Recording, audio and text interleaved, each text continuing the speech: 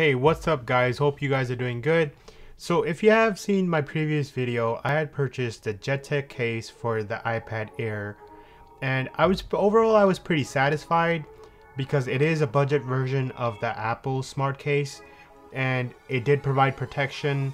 There were some flaws which I discussed in the video, so if you haven't checked out that video, make sure you do so.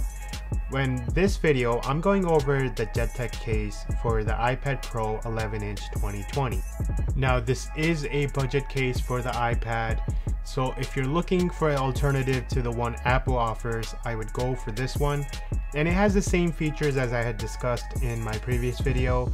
So it has the auto on off feature. So if the top of the case is on the screen, your screen is covered, your iPad automatically turns off. And then if you open the case, your iPad turns on, the screen actually turns on.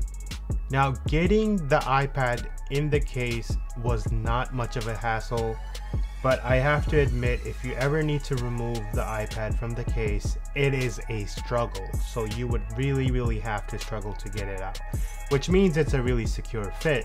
So if you look around the edges, it's closed completely. The only part that's not closed or covered is the part where you would place your Apple Pencil. So they conveniently left that out. Now, the case is a perfect fit, so the cutouts are perfect for your iPad.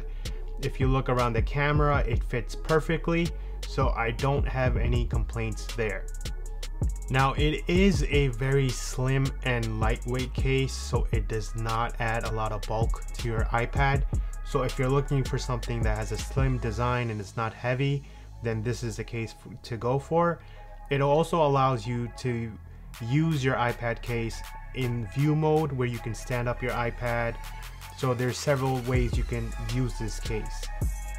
Now I do have the same complaint I had with their other cases. So the material that covers the top of the screen, the outside is nice and soft, but the inside feels pretty cheap. So you can see where they tried to save money on, which is the front. And on the back, this is just a personal preference. I do not like the see-through part of it.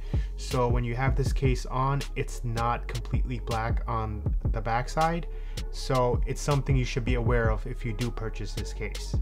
Here's a quick demonstration of the struggle you have if you want to remove the case from the iPad.